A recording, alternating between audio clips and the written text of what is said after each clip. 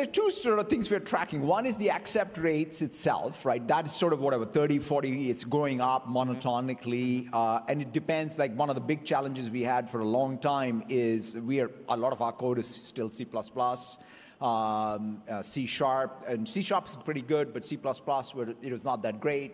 Python is fantastic. So we've now gotten yeah. get better at that. So as language support has increased, the code completions have gotten good the place where the agentic code still it's very it's sort of nascent for new greenfield it's very very high uh, but as i said it's nothing is greenfield uh, in many cases and so therefore i would say maybe at this point the pr oh by the way code reviews are very high so in fact the agents we have for reviewing code uh, that, that usage is increased. And so I'd say maybe 20, 30% of the code that is inside of our repos today in some of our projects are probably all uh, written by software.